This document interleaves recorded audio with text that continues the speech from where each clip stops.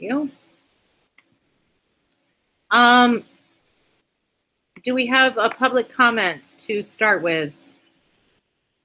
We haven't been assigning a timekeeper. Um, we do have a first public comment on our agenda.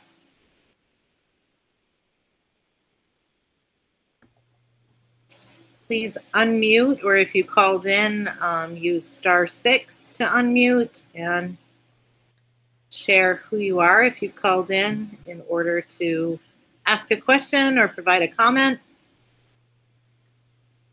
Hello, this is Tammy. What time did the meeting come to order? The meeting came to order at 6 p.m. I'm sorry, Tammy. That's all right. Thank you.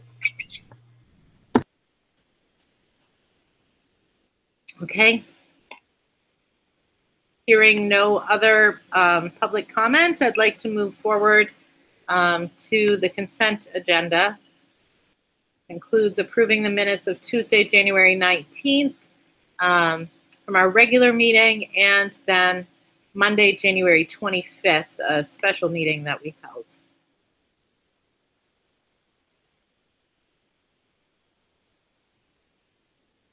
Is everybody able to see those minutes?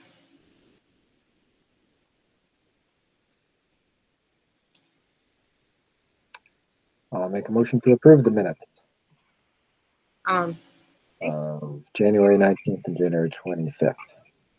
thank you, Andrew. I'll second it. Is there any discussion of the minutes of January 19th regular meeting and January 25th, our special meeting? Okay, all in favor of approving those minutes, please say aye. Aye. Aye. Aye. Lisa? Aye. Sorry, I couldn't get that. I know. Sometimes it takes a minute. Thank you. Um, and the minutes are approved. There were no nays um, and no one to abstain. Thank you. That brings us to um, our section for board comment. Do we have any board comments? Anything anyone would like to share? Um, I guess I would just say, I mean, we went through the budget uh, stuff, and uh, but again, you know, I just say thank you to all the faculty and staff at each of the campuses and the administrators, everyone for for the work you're doing this year and, and the work you did for for the budget that we put together. And uh, I think everyone on the board, you know, I don't think we could ever say how much we appreciate all the work that everyone does. So uh, so thanks again. Yeah, thank you. You're here. Thank you. And this is Lisa. I'm wondering if there are any candidates running for the board seat in Royalton. And if there's anything that we can do to, uh, if there are, to get to circulate those names or that name for write-in ballots. Yeah, I haven't heard any. Um, I'm wondering if Chris or Andrew or Bob have. No, I haven't. I haven't. I, sp- I spoke to several people, but not, but they're not interested. Is that something that we could maybe make more public on, say, the Royalton Facebook page? Is it Royalton Speaks? Um, just so that people are aware and what and how many write-in votes are needed and all of that. I think. I mean, I'm happy to to get those conversations going, but it might be more influential if somebody from Royalton is doing is posting that. Yeah, I can post something there. Thank you, Andrew. Great. That's a great idea. Bob, did you launch your campaign? What? Did you launch your campaign? Is that what I just, I thought that's what you were getting ready to say. No. All right, thank you. Any further board board comments? I'd like to thank Jamie and, and, um, I know I'm going off the board, but I think he came into a really difficult situation and uh, he's handled it very, very well. And um, he started with a zero-based budget, and he managed to put together a budget that included teacher raises and benefit raises uh, at the same time decrease the budget. Um, you know, it's a lot of work um, and a difficult job, and I, I just think you've done a great job, Jimmy. Well, thanks. I want to thank the admin team. They they've been great. Everyone's been great. So thank everybody. It's been a complete team effort. Faculty, staff, admin, um, board has been unbelievably supportive to the ideas we've proposed. So just thank thank all of you.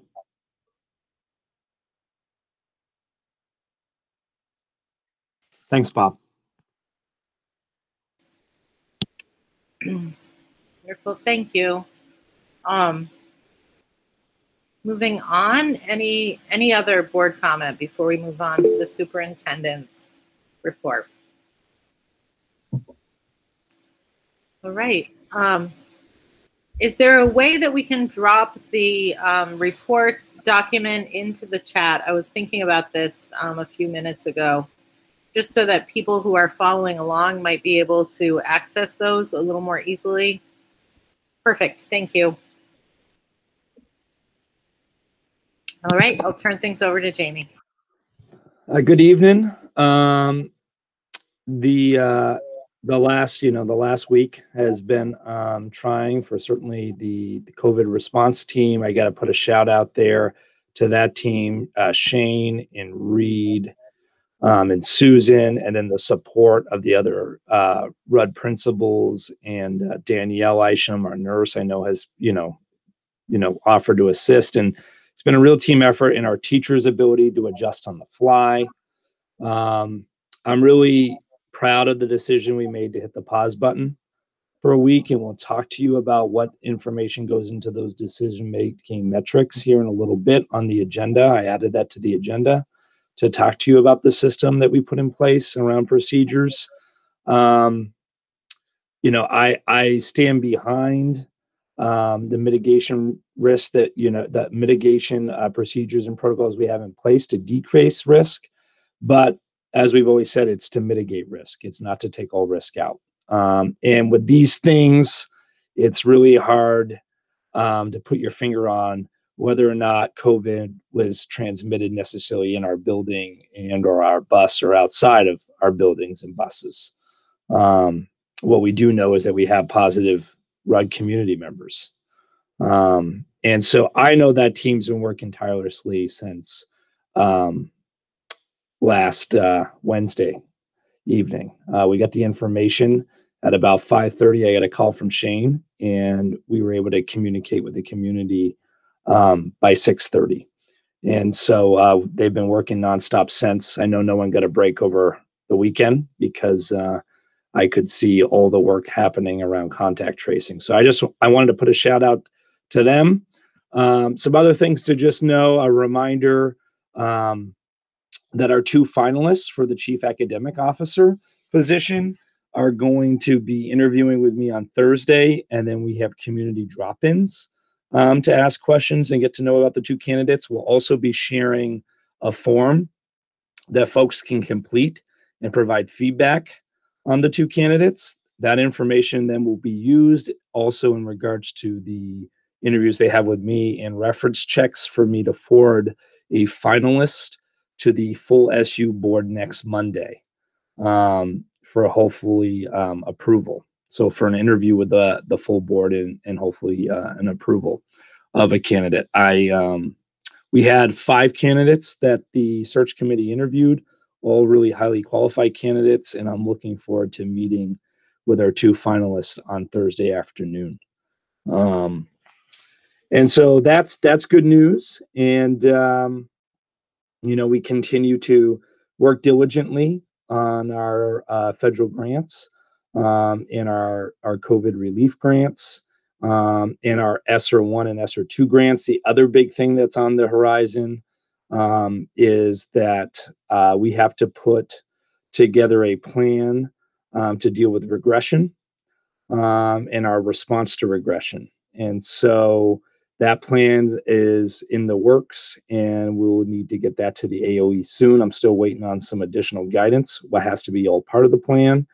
And then also, I'm meeting with SU principals, uh, Don McMahon and Carrie uh, McDonald on Thursday morning to discuss how we're going to approach summer programming with a focus on addressing regression and gap filling. Um, and so that's happening this week as well.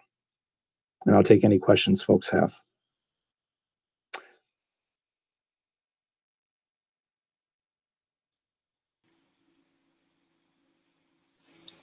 Right. I'm not hearing any questions. Thank you for I all. have. Of- we Okay, thanks, one. Bob. Yeah. Great. So Jamie, I I heard uh I heard you say that we're going to open the sports season. Yeah, the goal is right now, tentatively, we're looking at Saturday um, as an opportunity for us to get back um, on the courts um, and in the bowling um, arena. So that's still the tentative date as of right now. We also did recommend that athletes go ahead and get tested. Um, and so I'm hoping that folks will take us up on that recommendation and that our athletes go ahead and, and receive a negative test just to ensure as we do reopen that we don't have any issues with staying open for um, athletic and activities. Are there schedules? Are there schedules now that have been put together? Yeah, Reed, you want to speak to that? Yes, the the schedules were made for the season once the governor gave us the green light for that to happen, uh, and uh, that's two games a week. And so when we when we close and we can't, we don't try to reschedule them. We just we'll finish up the existing schedule. So this is going to reduce the total number of games, but uh, we're optimistic we can get a couple of games in. I'm just curious, Reed. What? How many basketball games are scheduled right now? Uh, how many would be left for the rest of the season? Uh, I think we'd be looking at six.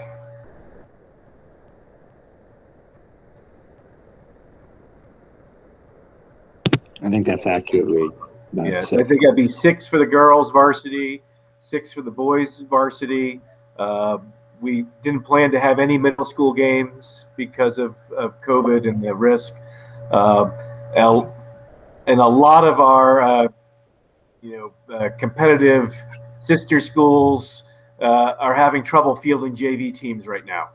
Uh, so we we may only end up with two JV games, is how it looks right now. But the numbers on the the squad itself may make that impossible for us to to field enough kids on both a varsity and JV game. The kids will end up playing both games for uh, you know they can play up to six quarters a day. Yep. Definitely an abbreviated season for sure. Is there some kind of playoff at the end, or is it just the six games? Yes, they are planning for playoffs. So you could add those on. Right. Other other questions?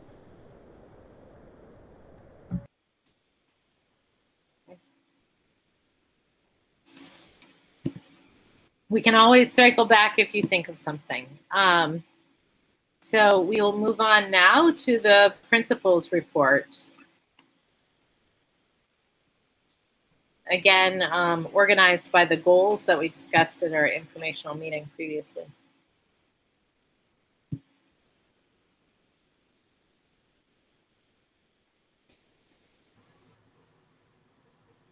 we didn't talk about who was going to talk during this because we planned for the budget presentation. and I'm seeing like reparative practices. Is that spelled?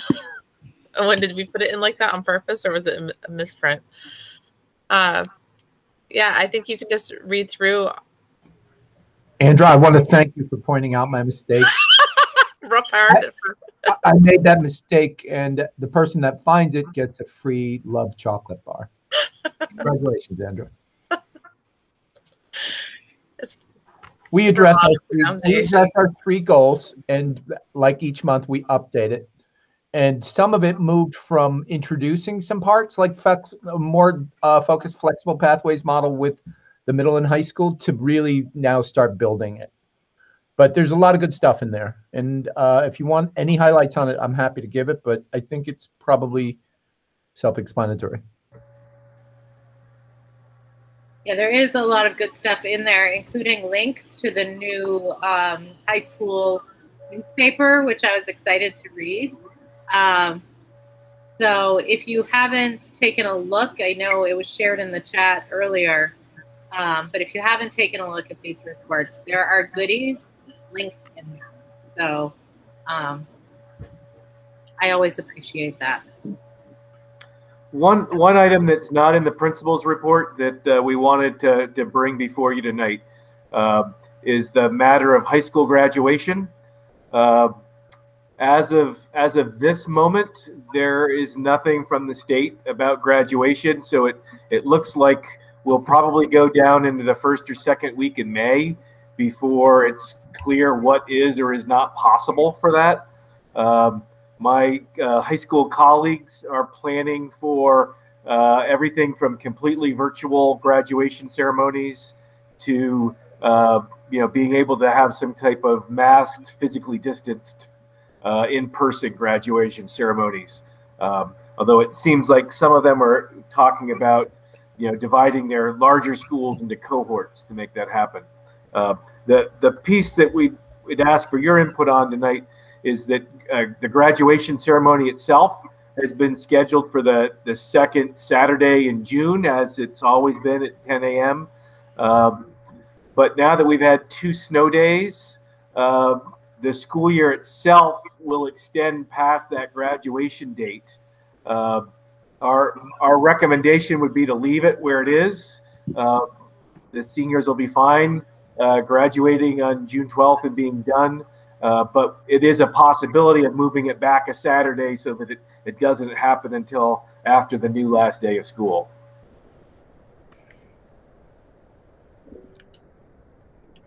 Can I add one more thing, Lisa? Course. Um, in the chat is a link to an article about outdoor education and using outdoor education in the pandemic. And it's with a, um, it's a woman from Waterbury wrote it, and it's being in this um, platform called Medium, which was started by one of the um, folks that started Twitter. It's an online magazine, and several schools are highlighted, but White River Valley Middle School is clearly a focus in there, and we have tons of photos in there. Really proud of that. That came out today. That's why I'm just pushing it out. All right. Thank you. Yeah.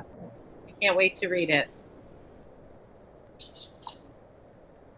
Okay. Um, Reed, in terms of a decision about graduation, do you need us, like, is that something you'd like action on sooner rather than later? Do you have a recommendation for one of those two things? Um, Yeah, I'd, I'd recommend that we keep it as it is unless anybody, any among you feel like we should do something differently. I don't, I don't really see a reason we need to change it, but wanted to let you have the opportunity, you know, ultimately your call. I think this school year has been hard enough for seniors. If families are already planning on a June 12th graduation date, I think your recommendation is reasonable and humane. Other thoughts about that? I agree. Yeah, I, I agree. Do we do we need to formally vote, or you guys know what we what we think? And it's been recorded. You know, every district does this a little different. I, I think you can absolutely take action and do it, or you can just, you know, we just I'll were looking that for we- your guidance. I'll move that we have uh, graduation on June. Is it June twelfth, Lisa? yes. June At 12th, 10 a.m. Yep. Ten a.m. All right. Is there a second to that motion? I'll second. Okay. Lisa, Lisa beat you to it. Um, any discussion? Okay. All in favor of keeping June 12th at 10 a.m. as uh, the date and time for our 2021 graduation, please say aye. Aye. Aye. Okay, any opposed? Any abstentions? Right. Thank you. So Thanks, June, everyone. June 12th, 10 a.m. Thank you. Okay. Any other questions of the principal's report? All right, we'll move along into the Virtual Learning Academy report. Lindy? Absolutely. So, um, my report, I believe, went out with others. Um, and so, just kind of as an update right now, or as of last Thursday, and I believe it's still true to this day, there's 111 students that are enrolled in grades K through 8 in our virtual learning academy. We are approaching the third trimester, believe it or not, in middle of March. So a letter will go out shortly asking families if they would like to transition back to in-person learning. That's their opportunity to do so. Um, I have been working with building principals to address any students that were concerned about engagement um, or struggling for a wide variety of reasons. You know, this can present a lot of issues of social isolation if you're following the governor's orders of no multi-household uh, gatherings at this time. Uh, lack of engagement, frequent absences, we try to push those folks with the support of their family and um, teachers and students back to in-person as soon as possible. Um, so we don't wait for that deadline. It's the other way to look at that. Um, the month of January and the first week of February, just like in-person students, all the virtual academy students completed um, assessments including the PNOA, F&P benchmark, and STAR 360 testing. Um, we're starting to organize some of that and look at it just as a faculty, and we'll present out the results. But we're also going to share it, you know, in with home schools so they know where all their students are. Because eventually the plan is that everybody's learning in person, hopefully.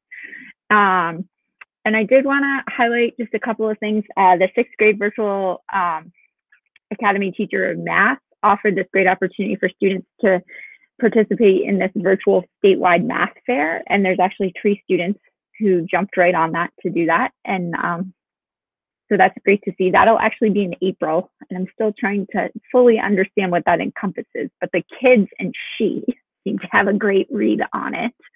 And then um, our second and third grade students have been learning about ecosystems and they even made their own habitat or did a food chain and they've been working with some programming from the Eco Center.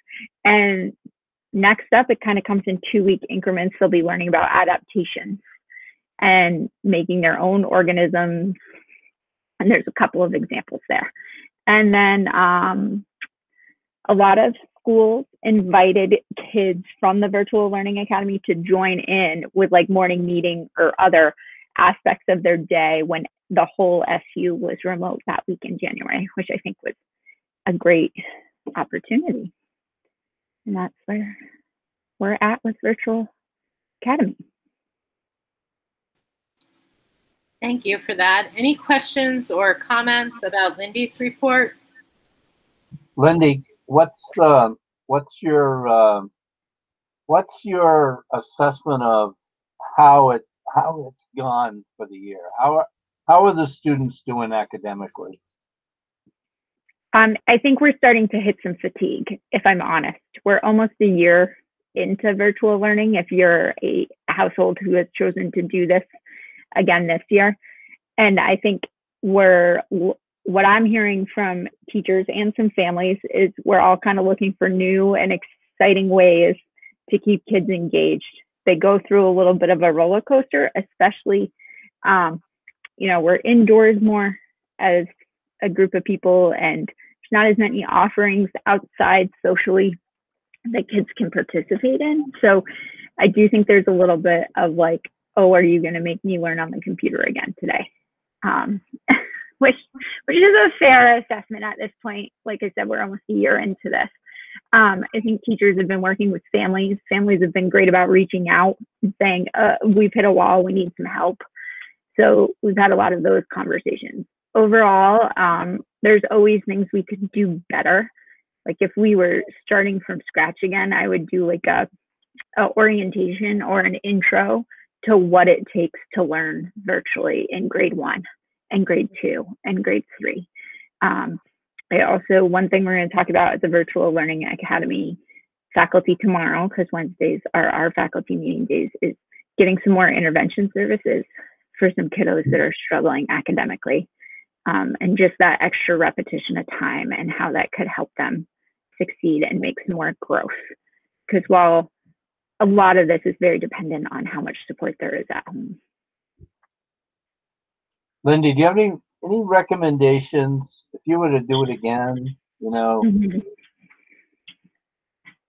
I think uh, recommendations if I could do it again and I had an unlimited budget and an unlimited staff. I'm going to put those preferences out there because I know everybody is stretched thin to make this happen. Is I would say it'd be um, beneficial to have a special ed case manager that's just assigned to the entire virtual learning community because we're really trying to juggle quite a few schedules to make make certain every kid is getting their services that needs it. Um, I would also say I think we need to be much more particular or specific about you can't just sign up to participate in the virtual learning academy. I know that um, up until this point, and you know, Stockbridge Rochester went through exactly what you guys are going through now with COVID before Christmas vacation. But up until this point, we've done really well with in-person learning, and we just know that that's successful. I understand folks' concerns, but I'd like to see more and more folks, um, kiddos coming back to in-person learning and just if it's not successful at this point for your kiddo, then it we really have to have a real conversation about whether you should be able to come back in if we're doing this moving forward because just hindering their success and what we can help manage in person that we can't virtually all the time. Um, and same with having like an interventionist just assigned to virtual learning academy. I think folks are, like I said, just stretched thin. We're all trying to close gaps as quickly as possible. And uh, there's needs everywhere. And I know this question wasn't for me, but I do also want to weigh in because I feel like I get to dabble in both worlds when we go virtual or when we plan to go virtual or when we just get to do it. But I, I think our teachers have done such an amazing job, mm-hmm. like on the fly, putting together the Google Classroom and all these things. But I think what could be hard for a parent is my kid's third grade Google Classroom looks different than my first grade kid's Google Classroom because we didn't have enough time for teachers to really sit with each other, have some great PD around this. It was like trial by fire, like quick, hurry, put it together. Um, so if I was to be in charge of the world and do this again, we'd have a lot more learning opportunities for teachers ahead of time. And we've grown so much just, you know, because we had to. Um, but I think that ease of access maybe isn't always there for some parents just because of the way we had to put things together in a quick manner. Right. And then the last piece I would just say is socially, really worried about kids socially. They are craving more social time. That's what every teacher has reported out to me that it's like, okay, guys, you have to go to your next thing or do, and, and they don't want to get off because it's the only time they're getting to interact with other kiddos. And, um, so we're providing those supports and doing that but that's those are kind of all things. There's this nice running list that we talk about as a staff every week like if we could do this all over again what do we need to keep in mind? And those are things and um, that are there. And i would also say the focus is on literacy and mathematics but there's kids who need more and they need more science opportunities they need more um, social studies opportunities and uh, just making sure that we make that that's a point of emphasis and is built into the plan as well. Thanks, Linda. You're welcome. on welcome. the on the social front, um, today was the day that the Royalton and Bethel kids were supposed to be with uh, their homeschool um, classes, um, and that got snowed out. So if we could reschedule that, that'd be great. I know we're going to Absolutely. keep at the forefront. I know. I, Spirit Week kind of got poo pooed with a snow day. Do you guys ever try to have like a virtual recess or a game time? I, they've done like lunch bunches is what I would call it, where different teachers or paraeducators are offering time for them to just be there and there's an adult um, monitoring how we're using technology in the Google Yeah. meeting is the way I'm going to word that. Yeah. Uh, but the kids get to be kids and socialize. I just think, uh, like I said earlier, you know, winter makes it harder. And because they can't gather outside of this, it's getting tougher and tougher for kiddos. On a more positive note, Andrew, some of the kids are still connecting tomorrow because tomorrow is not going to be a snow day, right? Hopefully. No Yeah, no, this was just them getting to, um, you know, go in with their, uh, Homeschools, right, homeschools. Andrew? They were going to join for, yeah. Yep, I, I'm uh, my third grader at Royalton is connecting with Okay. Bethel Good. campus. Um, so you were focusing on VLA, is that correct, Andrew? Yeah, so it's just okay, a little sorry different. about that. Thank you. Okay, Yeah. now I got it. I apologize. Thanks. It's exciting though that those connections are happening. Right. I do think it's cool that kids have extended their friend network because they've all been put together um, virtually and it, it happened organically, even if it was through a computer screen. They've made friends with some kiddos they may not interact with with high school. And I do think as many elementary schools that have school choice, uh, 7 through tw- 12, hopefully that's a benefit or an attraction that they have some friends in some other buildings and maybe direct some kids towards Bethel and Royalton in the future. Oh, thank you. All right. Other This- questions? Yeah. Yeah. Go for it, Um, so this might be more for Jamie, but uh, I know, you know, the governor has, you know, made different sort of, you know, he said like he'd like to see all kids return to in-face by like I think it's moved a couple times, but now I think it's like April. Uh, I mean, where do we see, you know, sort of on the ground things, you know, the progression? I mean, I think right now, you know, I think, you know, I'm I'm guessing his goalposts will continue to move, and it'll depend on. Uh, on you know vaccine rollouts and availability and things like that. But I mean, what do you all see for it? Are you saying when I would expect um, all students to return and not offer a VLA, Chris? Right. Uh, well, I I've committed that we would do it the rest of the year. I've told staff that for predictability and um, and so I was not intending to not have VLA operating. Um, uh, the Winooski Valley soups, we've talked a lot about the importance of uh, maybe a regional approach with this. So we had all commit, committed that we would continue with our virtual learning academies for this year and then look to come back to in person for next fall is the goal. Um, and so, you know, what I think our, what I'm projecting is, is that we would be fully in person next fall. Um, but also offer pathways and things, of course, um, because even prior to COVID, some students, especially at middle high school, um, might access a, a big chunk of their learning via virtual means. Um, and so that we would still offer, but um, we would look to have students back in person next fall.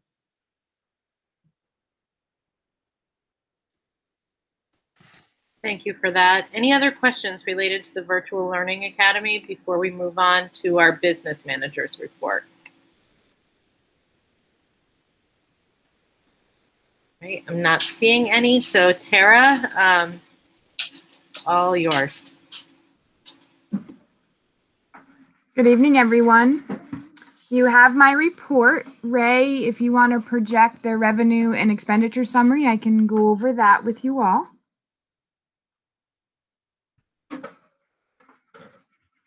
So uh, at the finance committee level, they had requested that I add a column into the summary that shows what was in there last month versus what I'm projecting for this month, so you can see the differences. So you'll see there on the revenue side that I have changed the tuition projection from six hundred forty-three thousand one hundred and sixty-six dollars to six hundred twenty-two thousand seventy-three dollars. And that is a result of a student moving back into the district that will no longer be tuitioned. And we have another student that we've been notified um, that's not a tuition student. So that's the two changes there. And then I've updated Ray, if you could scroll down just a little bit further. The other update there is the COVID reimbursement to match the expenditure side. And you can see we're still projecting a surplus for the current fiscal year of $173,290. Ray, if you could go to the second page and I can go over the expenditure changes, please. Thank you. So there is where the COVID costs have been updated from the 172,290 to the 203,171. And then I have added in on review of the expenditure report that it looks like we've got some projected savings under our equipment line of $8,500. So that's been added in there too. And those are the only two changes that I made for the month of January. So if there's any questions. Chris? Try try out the raise hand feature. Uh, so just clarification on the tuition students, how does the tuition work? Does it is it just based on like where the students in the year at or uh, you know, I'm I'm more used to like I guess the college sort of financial structure where you pay by the semester. So I mean, you know, if a student is out, you know, if they're a tuition student for the first half of the year, but then say they move into the district, is it just that you know that there's no you know payment for the first half of the year then or and it all goes away or or or how does that work i guess the tuition is prorated based on the date that they enroll or disenroll okay. or unenroll so you all do just sort of like a back calculation you know so yep. yeah. we do bill out two semesters so we bill first semester and second semester and then if there's any changes made within that semester we adjust the tuition as we've been notified okay and so is that 35000 is that based on the you know you know the bill back stuff or is that just based on you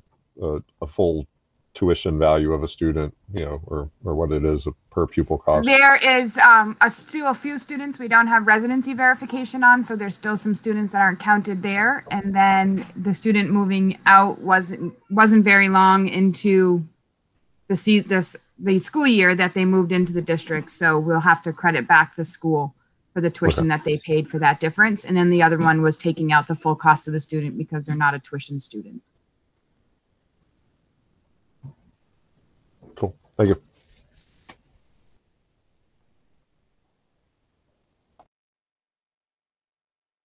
Right. Other questions for Tara?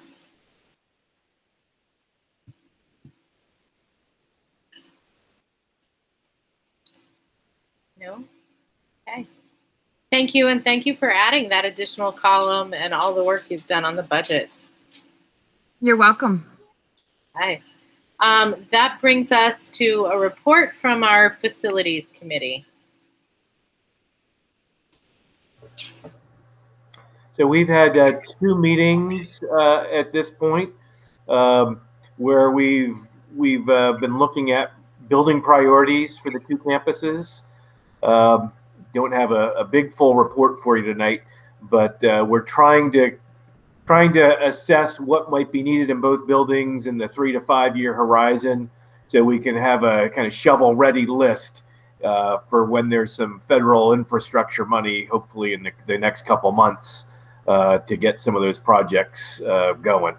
Uh, along with that, uh, Chris has has been really engaged in some of the conservation work. Chris, I don't know if you want to talk about what you've been been looking at a little more deeply. Uh, so yeah, I mean, I guess you know one of the things you know when you're looking at energy usage in buildings and stuff, it's always good to go and look at the electric bills. Uh, so. Uh, so Reed uh, uh, and the people I believe at the business office were able to get together the uh, I don't know if it's like the past year's worth of electric bills. I haven't haven't gotten too far through them yet, but uh, I guess I got far enough. I mean, you just look for things that, that are different from from year to year and month to month, and and you know hopefully get to the point where you know you start to get familiar with it enough that you can start saying, okay, well, what happened? You know, what changed from last month to this month or whatever. Uh, so, you know, started looking at that. You know, we maybe caught something already uh, with. Uh, looks like lights at the baseball field in Bethel uh, potentially. Uh, they've been it looks like they've been maybe on for the last three months or something. There's uh, there's been a bill for those uh, baseball field lights these last three months when normally there isn't any bill in the wintertime uh, for baseball field lights, and the in the amount of electrical usage way exceeds what we would typically see like in the summertime uh, or when when the fields might be being used for sports. So uh, it's like four to five hundred bucks a month uh, is what the current bill is coming in at uh, for the last three months. So uh, so you know small things like that where it might just be something that's on and just need to flip a switch. Uh, you know, and and you see that in buildings a lot where things change and something just goes to like a default on position and then you start pulling more electricity. So uh, and yeah, we'll keep looking at it. You know, looking around just at the the campus bills and trying to get familiar with them and and seeing what the what the rates like. And at the campus level you know getting familiar with like the rate structures and stuff because we pay you know residentially we're used to paying for our kilowatt hours of usage. Uh, but here you know for commercial scale we pay for our our kilowatts of demand also. So like what's your instantaneous draw on the grid and basically what we pay for in terms of demand charges is about equivalent to what we pay for for like our just energy usage. So you know those instantaneous demands equal to about you know 50% of our bill. So you know if there's things that we can do to reduce demand that's going to save energy both in kilowatt hours but also in kW. And we've been talking about other ways that we might be able to engage students in uh, some energy conservation projects around the school um, looking at the environment envirothon group and the uh, science science it's not the science-a-thon. Uh, but some of the, the groups on campus, including the environmental science class, that, that could pick that up. Um, what we're seeing at the high school level is that that there's not as much uh, engagement with students in the extracurricular activities like that that we do have. So our numbers are down. So uh, with a couple exceptions, we we may not be able to pull that together this spring, but certainly would would look to it in the fall. Um, and you know, kind of projecting where we'll be forward. Forward, hopefully, two or two months from now, we'll be able to come forward with a, a report saying these are our our facilities priorities for the board to review and approve uh, as we move forward. That that might be a little optimistic that we'll get there that quickly, but um, before the end of the year, certainly. Yeah. Yeah, it would be nice, yeah, at the school levels, yeah, if there can be some sort of like, you know, student and teacher and staff involvement, you know, and have like, you know, an energy committee or have a club. Uh, mm-hmm. uh, I was talking about a couple years ago. I remember when Dalton Gomez was still uh, a teacher in Royalton. Uh, he had like an environmental science group that was looking at some different energy uh, efficiency things, and they actually had come up to Vermont Tech one time and and visited and talked about some stuff, like you know, trying to come up with an idea for like a wall for that breezeway area by the gym to put up in the winter time and help help cut down on the amount of cold air coming into the buildings uh, when those doors are in use and stuff. So you know, yeah, if we can make it educational and interactive for for the students and everyone else in the building, you know, that goes a long way to help uh, with you know energy conservation. And engages our students. That's awesome. All right. Thank you for that. Any other questions for our facilities committee? I'm still trying to figure out what the lights at the Bethel ball field are all about because I don't think that's been a thing my whole life. I um, think, I think what you're thinking is because it was used as a staging area for some of the the town construction that maybe they got turned on by the town and never got shut off. But oh. that's preliminary. Yeah. And we'll get to the bottom of it. Okay, yeah. thank you. Well, yeah, luckily it comes on a separate bill from the rest of the school, or else you would never know. Yeah, probably. Well, thank you for catching that. okay, so that brings us to our um, review and discussion of the informational meeting.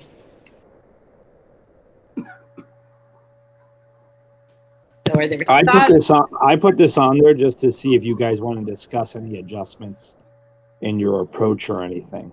Um, so. thought it went fairly well. Um, it'll be smoother next time, but anything we should add or no? I think going over the warrant um, maybe earlier in the meeting would be better, and remembering introductions up front.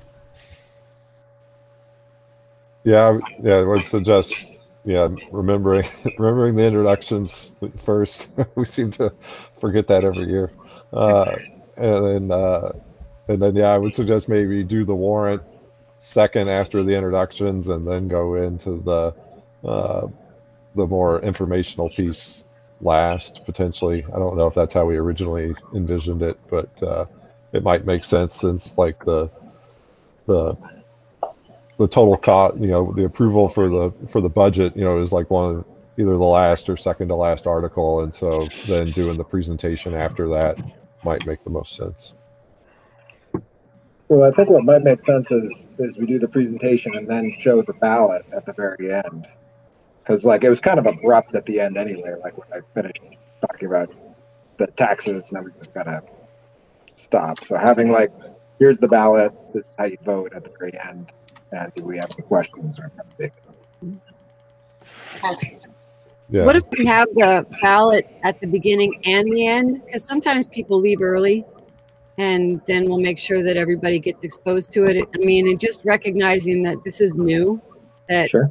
we're not having, you know, just to we're not having a town meeting. This is what's happening. This is what's going to be on your ballot when you go in to vote.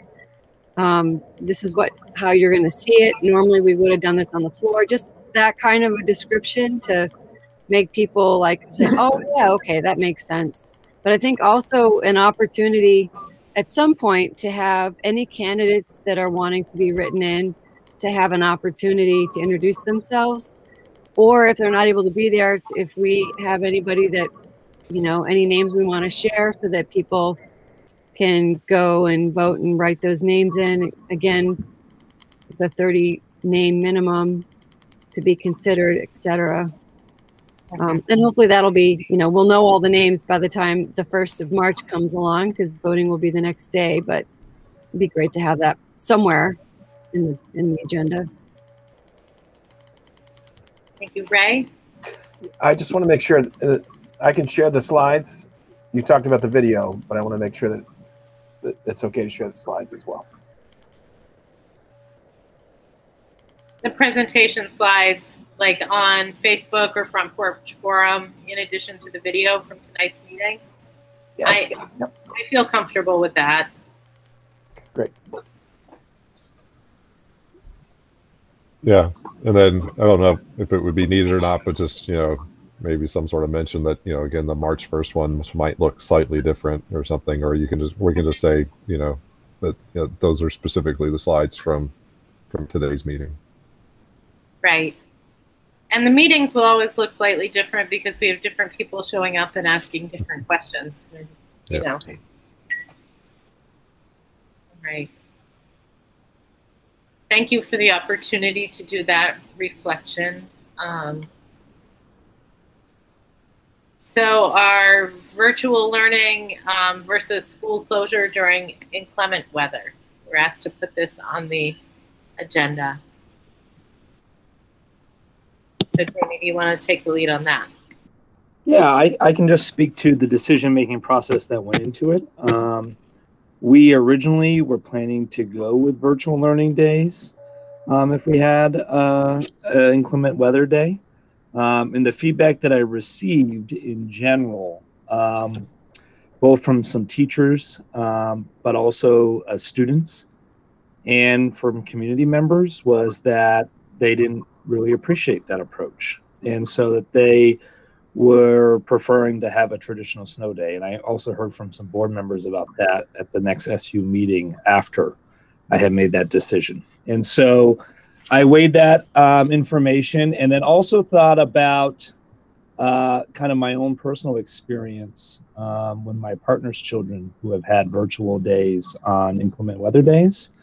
And I can't say that um, necessarily I was really pleased with the engagement levels um, that were happening. And uh, in my own personal um, experience with my partner's children. So um, I took that into account too and decided about if we're looking at uh, trying to fill gaps with re- regression um, in regards to a recovery plan that I would um, that I value students being in the classroom for a full day, even if it's in June, versus um, a virtual day um, during a snow day. And so um, that's the that's what I use to make the decision to go back to traditional snow days or inclement weather days. Uh, I received positive feedback today, even from some RUD families who said they were happy that I stuck by the decision, even though that you were already in a virtual mode, um, and allowed for a traditional snow day. So um, if you look, we're kind of split all over the place with this decision across the state. Us superintendents can't seem to always get an alignment on how we handle it. Um, Chittenden County had a they had a lot of them were traditional snow days in Winooski Valley. Um, I'm the only one that's doing a traditional snow day as a superintendent. And then if you look at the 91 corridor, they were pretty much all traditional snow days. So um, it's a little bit all over the map. Um, I will tell you that um, I think that the positives outweigh the, the negative, the cons or the negatives to go about it this way in the sense of I really value the fact that we're going to have students in person um, in June. And I think that's good for our students. And I think that we can provide really high quality instruction in June and uh, in a safe way because we'll be outside as well, um, like we were in the fall. So those are all things that I took into account to make the decision to go back. And I felt like now it did make no sense, um, even though we had Rudd was virtual. I did not want to confuse folks more. And so that's why we still went with a closure today, even though we were in a virtual mode of learning. Um, because I felt like it would just show that you could predict that if there was inclement weather, that it would be a, a typical closure. Um, it was one more stressor, you know, to add to the list of stressors that we all deal with right now. That we did have a district virtual when there was inclement weather, but uh, I felt like I just needed to stay consistent and predictable for families. Jamie, I think it's a mental health day for faculty and kids. I'm all in favor of it. Thanks, Mom. Yeah, I agree. I, I think the snow days are good. Um, I do think like it looks like we might have another one on Friday, maybe. Uh, so Two hour delay at most, Andrew. Two hour Okay. delay at most. There we go. Can we do virtual two hour delays too? Yeah, so they would be the same. Yeah, we would do virtual two hour delay too, and I would communicate that. I had it all written out for today. I don't know if you notice, I, I did get one superintendent to stick with me. CVSU uh, Superintendent Suzette Ballard. We we held out till this morning. We were up at ten of five doing our checks, seeing if we could hold out for a two hour delay, but we weren't successful. We didn't feel like we could pull it off. But um, uh, yeah, we would do the same with virtual, Andrew. Yeah, I guess what I would say though is if we do have too many more, you know, like look at what day you would want school to end. Then if we go past that, start switching back. Yeah, no, absolutely. Yeah, that makes sense. All right, Rodney, you raised your hand. Uh, yeah, I, I actually had quite a few people comment to me about the, the snow day, and it's pretty split. Uh, a lot of people like the snow day idea, and a lot of people don't. So it's it could go either way, truthfully. Um, so I had one person that liked the first snow day and didn't like the second one. You know, so so I, I re- really don't know. Uh, I guess it's. I do have to say, my own child was pretty excited to have a snow cha- snow day today, even though you know it's like she likes schoolwork, but was happy to have the day off too. So, so I guess it's okay either way. Thank you, Lisa. I was also thinking that for the staff, as as Bob was saying, you know, just for our emotional well-being, I'm sure that they could really benefit from having a snow day. So I know that my kid was really looking forward to it being a snow day, but I was thinking more more of the teachers and how I'm sure that this would really help them out as well. Yeah, I think with their own childcare needs, um, and in addition to that, we're not guaranteed power on a day with heavy wet snow. Um, and with so much happening in the virtual world, that can be really hard if your power goes out. Once again, with COVID, there are no easy answers for anything, I feel like. But thank you for doing your best in this situation. All right, um, our COVID response is up next. Shane? Hello. Um, I guess uh, I'll give a quick update as to what's been going on in Rudd um, since last Wednesday. Um, as Jamie alluded to earlier in the meeting, we did receive notification early in the evening on the 10th that there was a known uh, COVID positive case uh, within the school. Um, we immediately uh, transitioned into uh, seven days of, of virtual learning um, because we know that it's going to take a full seven days to really um, wrap our hands both around the contact tracing and then making sure that those contacts have had time to quarantine and then test out to see if we have any additional uh, positive cases. And with us, with that, um, that seven days would have been up uh, on Wednesday. It being so close to the vacation, it just made sense to uh, extend that through this week. Um, so tomorrow um, will be um, seven days since we've closed, and um, our contact tracing has gone on throughout the weekend. Um, and we do have um, some contacts that were identified um, that won't be eligible to test out until tomorrow. Um, so we'll still be waiting to uh, hear about those test results uh, towards the end of the week and early into the weekend uh, to see where uh, things are at. Uh, the Agency of Education and the Health Department have reported that we've had five um, total cases um, that were deemed to be infectious while they were in school. Um, so uh, I can say that um, our contact tracing efforts have been really good at predicting um, who those positive, uh, subsequent positive cases were. Uh, and so uh, that's a that's a good sign, uh, positive sign that the systems that we have in place are uh, effective and working as they're designed. Um, we will need more time to really um, see how this situation ends, and then be able to get with the health department to do uh, a thorough analysis of, of what happened. Are there things that we could have done better or different? Um, I can tell you, even though the COVID response team has been um, tirelessly doing contact tracing, um, we are not health department officials and we are not privy to and don't have the information that they do.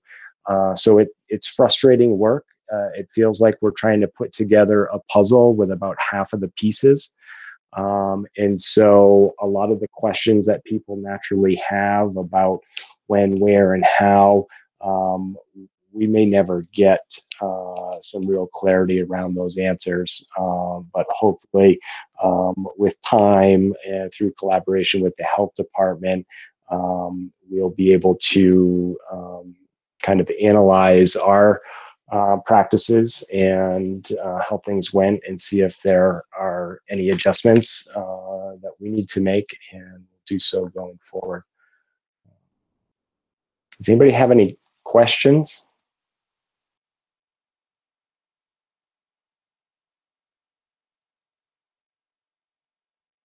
You This are is- an easy crowd.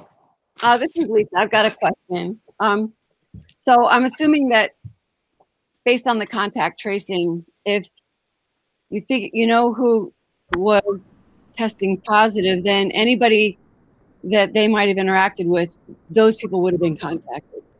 Is that correct? Like if my kid wasn't contacted, then I don't need to worry about whether or not he was exposed. That's correct. Uh, we do all the um, it's what's called the line list and, and, all the contact tracing for people within the school building. Uh, when we when we do those interviews uh, and outreach, we're not um, asking beyond uh, the school day. It's really looking at in-school interactions um, from uh, bus ride, uh, co-curricular activities, and throughout the school day. Um, and I can tell you that we've um, been able to uh, complete that uh, line list contact tracing and notification. Uh, and we do it generally within about uh, 14 to 15 hours um, from getting the notification of a positive, uh, going through all the identification and uh, and connecting with identified contacts uh, and that's generally because we find out um, later in the evening um, and uh, connect with folks um, by the next morning. Thank you. All right. We also have a question from a community member. Um, Shannon, you raised your hand, and and Tammy. It's not public comment, but we haven't had very much public comment, so I'm willing to entertain questions now if that's okay with you.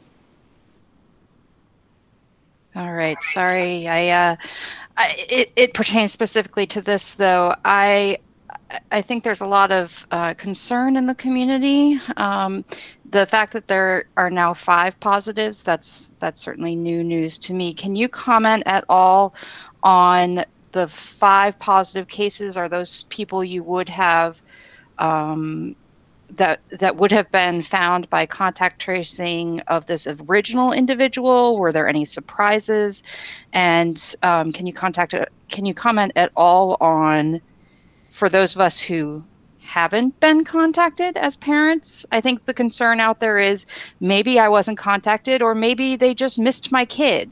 Um, so how do we know that everyone who needs to be contacted is being contacted without anyone telling us, you know, we'd like to know. I think parents out there have been talking about this and want to know which campus was it, which building was it, and I don't think it necessarily um, breaks any laws to give out that kind of information. Just the general logistics. We're already saying it's in our district. I don't see why it's breaking a privacy rule to say which building it was in. So, can you comment on those things? Well, uh, to your first question, I would say um, that it is possible that we um, have I maybe not identified somebody that would have been a contact.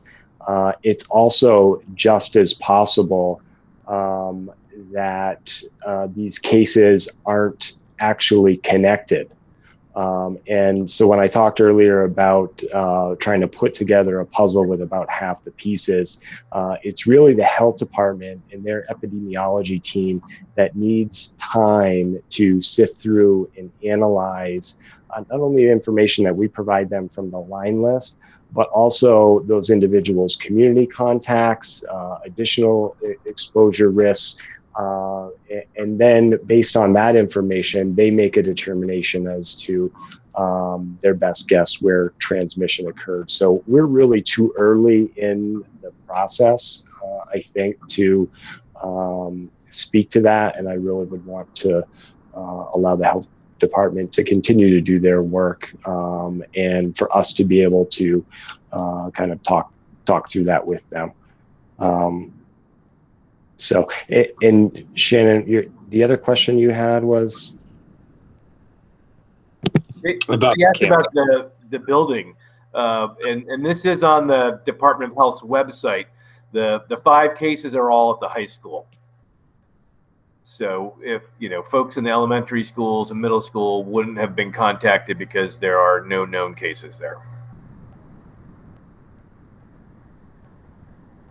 And, and the decision Thank to you. close all of the Rudd schools uh, is because of really how interconnected the two campuses are uh, with both shared staff, uh, buses, um, siblings, uh, and households across campuses.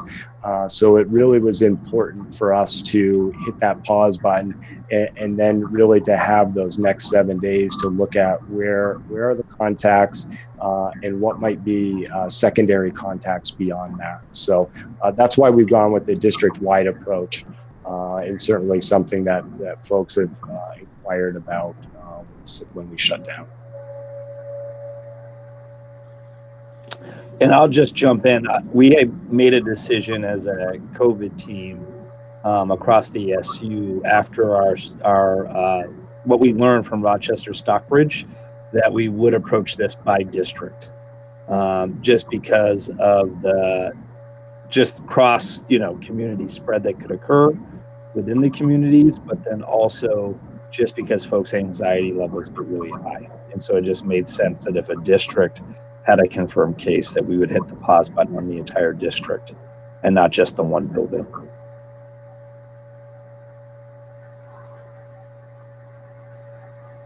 I do think providing information that was in the high school would have been useful might have, you know, prevented the speculation or anxiety.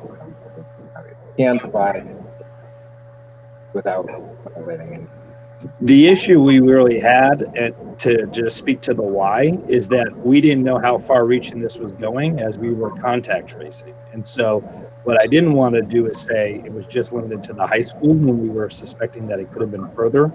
And then the next day say actually now it's spread to this other campus. Um, and so i wasn't comfortable doing that.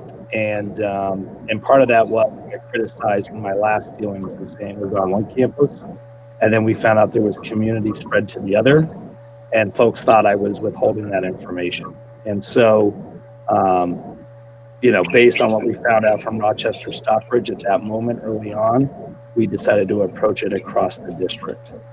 Um, because what we ended up finding out was we actually had positive cases across both campuses, but we didn't realize it at day one. And then when we went to report out on it, folks thought we were withholding information, possibly. Thank you. Tammy, you have a question? My question is um, twofold.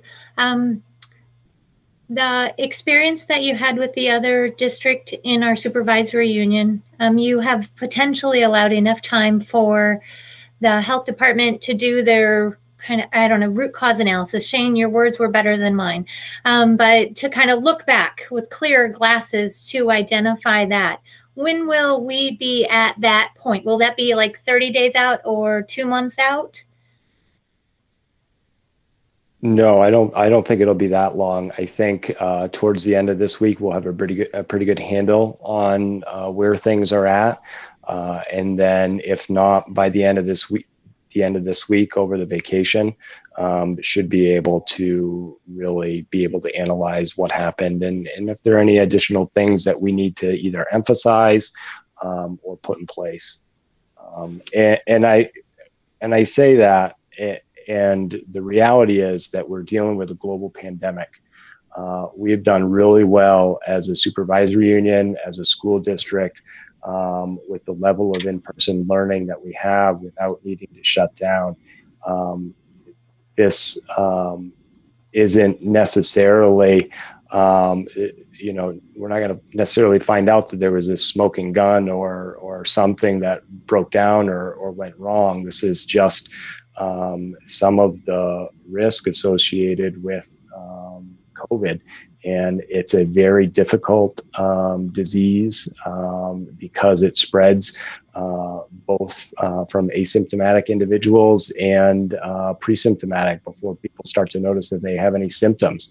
Um, I can tell you that the, the nursing staff has worked tirelessly um, all school year long, communicating with family members, and uh, you know the community doesn't know about how many uh, situations were potentially prevented uh, or kept out because of some of our practices and our health screenings and, and things like that. Um, but uh, you know, the, I would say that the community as a as a whole has done very well at adhering to, following the guidance, working together, uh, being responsive, uh, being transparent with the schools. Um, so you know, there might not be a lot to learn from this in the end. Um, except uh, the the science continues to evolve and grow. I'm hearing um, new recommendations from CDC about double masking and things like that uh, that we certainly will be looking into. Um, so I think we continue to learn uh, about this um, as we go through the pandemic. So. Great. Can I ask another question?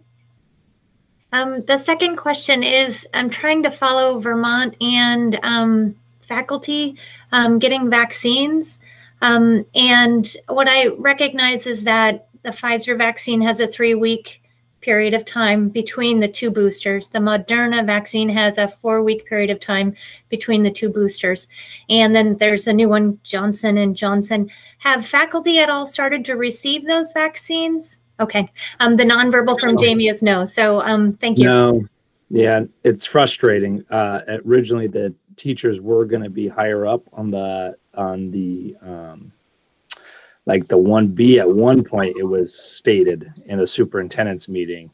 Um, my sense is that based on the fact that data was showing that school transmission was less likely and more positive outcomes around that data versus community spread, they decided to um, not have teachers as high up um, in regards to their order of vaccinating. I also would say, though, I think the non political response to that could have been they didn't have enough vaccine to know how they wanted to prioritize vaccinating educators. Um, that's my take on it. No one has said that.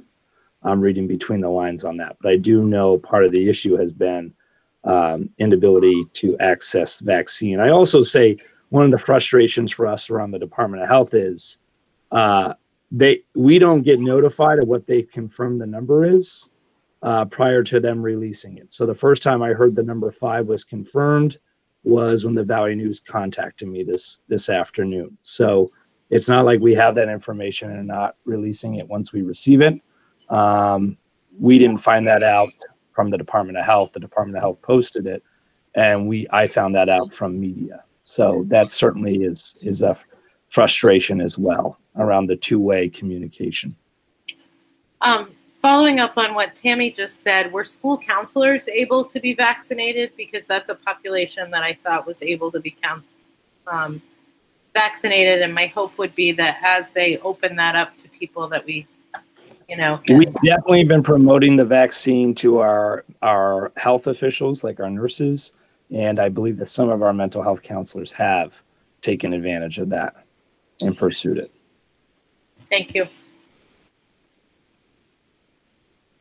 All right other questions for shane oakes our covid coordinator while he's still here? I'm not seeing any. Um, thank you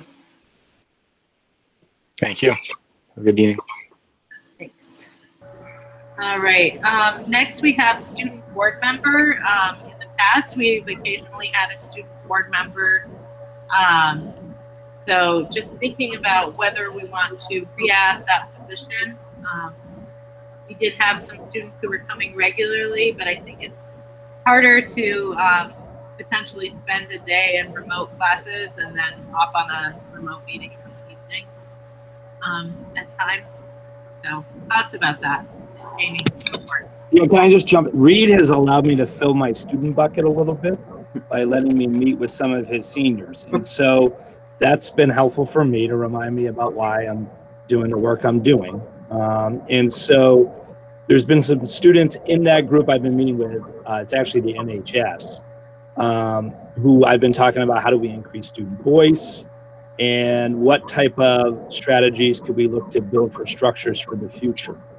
And so one of the things, some of them had been student board members, and one of the things we talked about was, you know, as the superintendent, I could assist creating a structure that we could present to boards around the role of the student board member. Um, and so, you know, one of the things we talked about is you know, regular, maybe bi-monthly reports that are tied to, uh, you know, some type of school culture and climate plan that they could talk about what initiatives are they taking to increase the positivity across the campus at Rudd. Um, one of the other things we also talked about too is how do we increase student voice at younger ages? Um, so the idea being maybe that there's student membership at a middle school level too at some at some level. Um, and so we also talked about what are the means about who's chosen to be a student board member and having a, a pretty clear um, protocol and procedure for how that happens. So I, I've been able to talk to them and get some ideas. Um, I think that they're excited to share some thoughts that they have later this spring. Um, and so that they could leave some of these things in place for underclassmen for years to come, um, knowing that they wouldn't partake in this. Because I think Reed, most of them are all seniors. Yeah, National Honor Society's seniors. So, but certainly maybe set up some structures as we move forward. So, you know, what I think I'm looking for is some guidance from the board, and what Reed's looking for is whether or not the board's willing to commit to um, the idea of like making them have a real voice on the board and some real purpose. Um, and so that's what I was hoping to gauge. And if there's an interest, then in the future we could bring to the board what the students' proposals were around the role, excuse me, of the student board member. But I didn't want to do that if the board said, ah, I don't know if now's the time to, to engage in that work. So I'm really interested in that work. Um, I do think the model that we've had, where the student board member would come and act in sort of an advisory capacity, um, I just have felt badly over the years for students who look super bored for our whole meeting. Um, so that makes me wonder about some sort of entity almost similar to the facilities committee or the finance committee where their mission is around culture and climate and they report to us, but they don't necessarily have to come to the whole meeting. I don't know what other people's thoughts are, but that's just what my feeling has been for a long, well, not a long time, but the, the times that we've had student board members. And also, it feels hard because we have one or two students um, representing, you know, the whole student population there. Um, and I would say that we have yet to have a student board member who is not an academic young woman.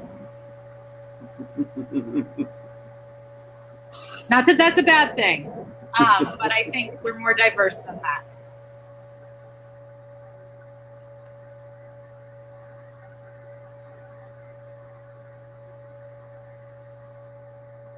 I didn't mean to shut down the whole conversation. Uh, well, yeah, I guess I would be inclined to agree that, yeah, I'd like to see like a high school council, like a couple students out of each grade, and yeah, and they'd have a committee with, I don't know, yeah, and report.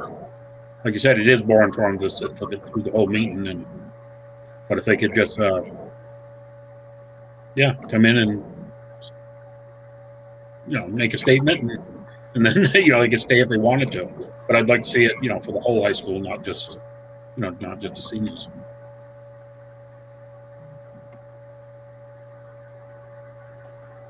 I think it could be really interesting to think about. Oh, Lisa's unmuted too. Oh. Go for it.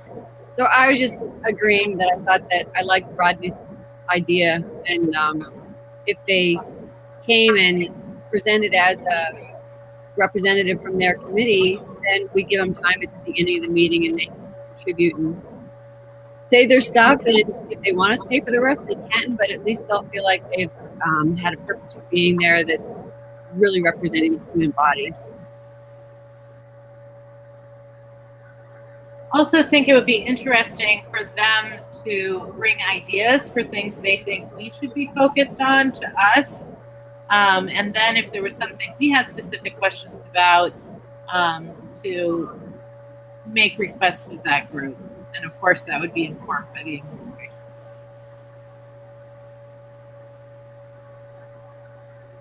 And I love the idea of a middle level group. I don't know what's possible at the elementary school, but it would be really good. Um,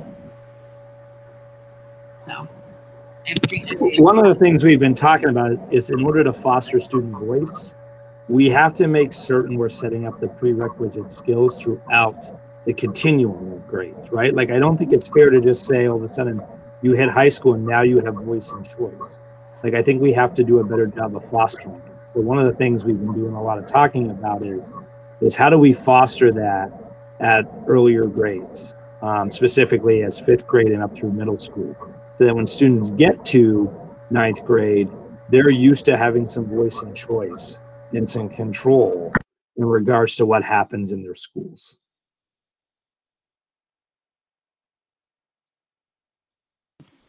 That makes sense. All right, other thoughts on this?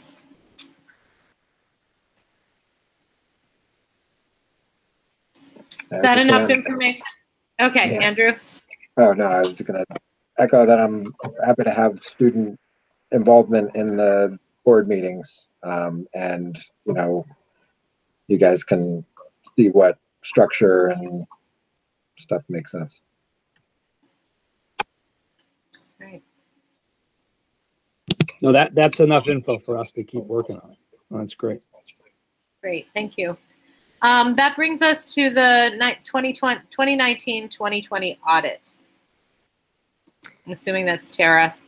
Yep, I emailed you all the second draft of the audit, so you have that. And now we're just waiting for the auditors to finalize the SU assessments for each of the member districts, and then the final audits will be issued, and then I'll present that to you for acceptance. Taylor, can you give us a timeline on that? My expectation is within the next 10 days, but we'll see.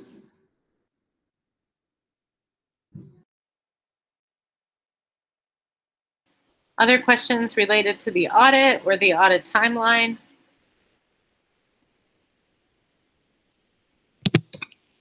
Did you guys have any questions about what you saw in the audit prior that we sent you? And if anyone wants to sit down with Tara, uh, Tara, I'm not trying to speak for you, but I know I've heard you offer this to them in the past. Please reach out and then she'll meet with you individually if that's helpful. Absolutely.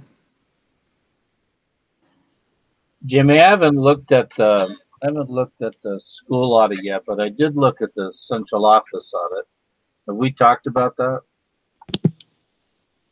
It was brought up at the last meeting, but it will also be on the agenda for Monday for the full SU board. I just want to let the board know if you haven't looked at it that you should. And it talks a lot about um, keeping um, keeping track of who's working for what grant and how many hours. And if we don't if we don't meet the requirements of the grant, then we could end up paying it back. Mhm. Just so everybody understands that. And Those are the time certifications um, that are a requirement of the grant, and we have put some pretty solid practices and procedures in place. Those are all submitted to me on a regular basis now for review, and we are also doing, um, at the recommendation of the auditors, we're doing a quarterly review of the time certifications to make sure that the staff that are being funded by federal dollars are doing the times that they're supposed to be doing. That's all fine and good, except in 2020 it didn't happen, and that's the problem.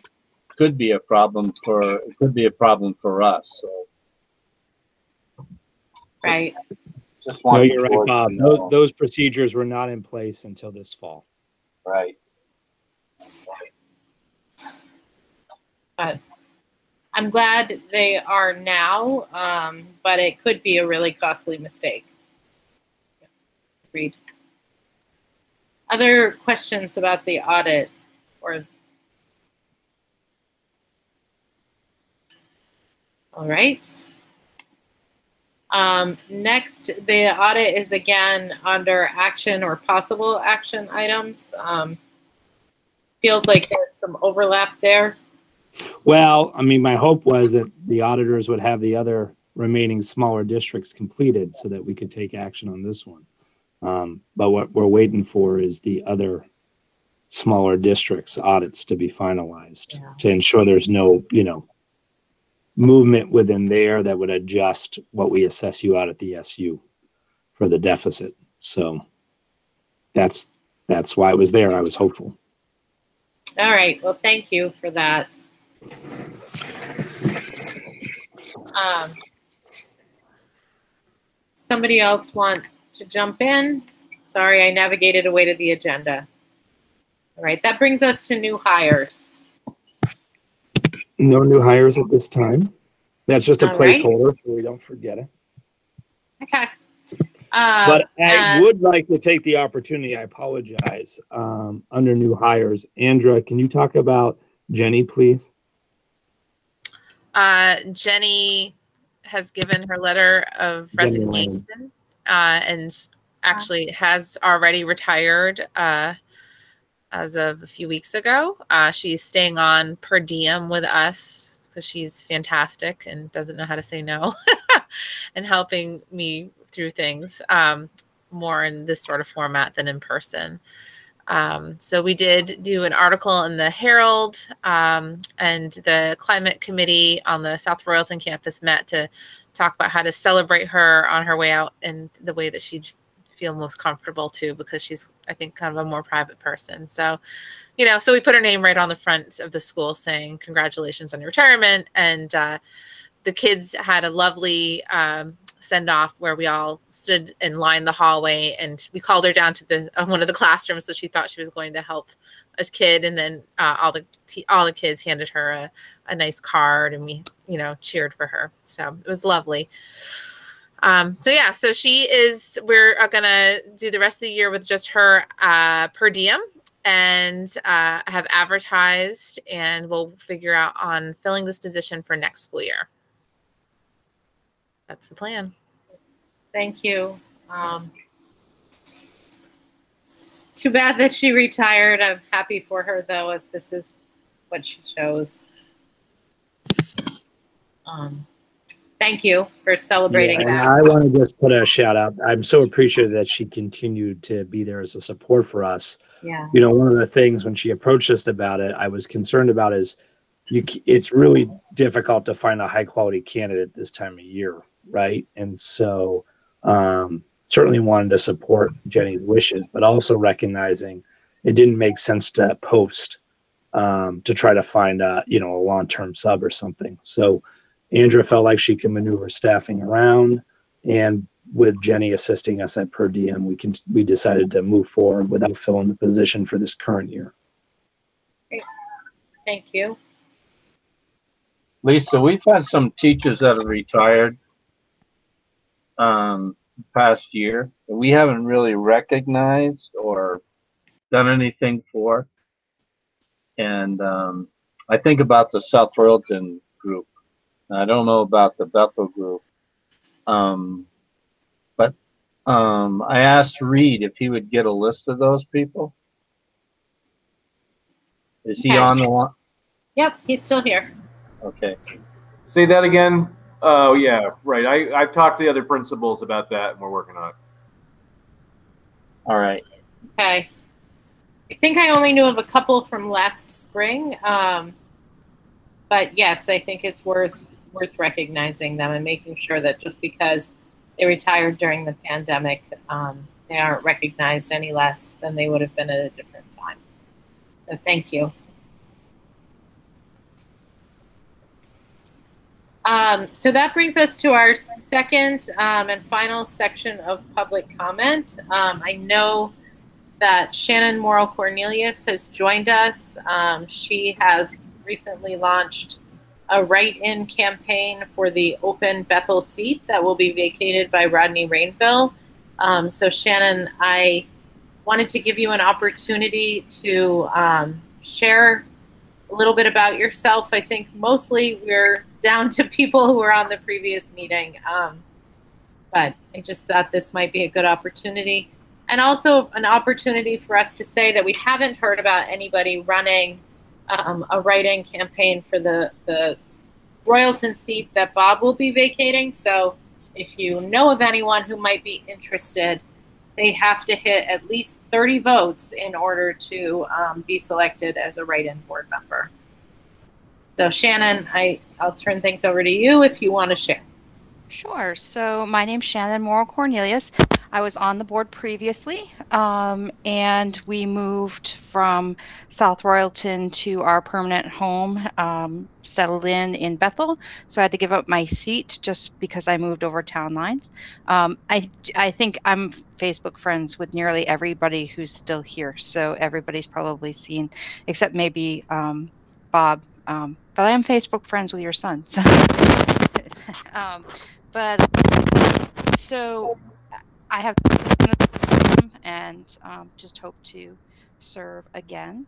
Um, so yeah, that's me. And then Lisa, my I guess my question was, since this is still public comment too, if there, if I weren't to get 30 votes, or if someone didn't run from South Royalton, didn't get 30 votes, will the board then be asking for volunteers to uh, to appoint someone?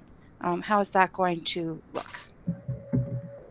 Yeah, I think, um, and and Jamie or Tara could correct me if I'm wrong because they've been in closer contact with the town clerks more recently. I think um, that we would need to ask for letters of interest from people, and it would be another appointment if um, no single write-in candidate received the or hit the 30 vote threshold. Um, so we would have to start That's that correct. process.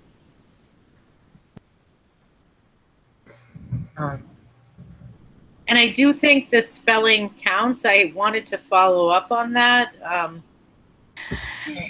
It, I think the spelling does count, and of of my name. So I apologize for having such a long, crazy name. And also, it counts. There are two spots, a Royalton spot and a Bethel spot, and both of them are vacant, um, and with no one running. So, uh, there people are going to, in order for me to meet that 30 vote threshold, have to spell my name correctly and get it in the Bethel spot. Um, so I've been trying to be really clear about that. Um, and especially if you're voting from home this year, um, you can cheat and look at your cell phone.